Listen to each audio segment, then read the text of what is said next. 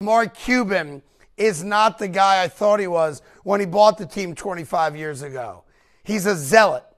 It's his way or the highway, and he's bad for basketball. All these guys sat because Mark Cuban decided he wanted the draft pick, but it's not good for the sport of basketball. It messes with the integrity of basketball. And oh, by the way, Mark Cuban was one of the first owners to uh, publicly advocate for legalized gambling on basketball. You can't have gambling on basketball and an owner sitting there now cherry picking who plays and who doesn't play because you want to get a draft pick next year. It's bad for basketball.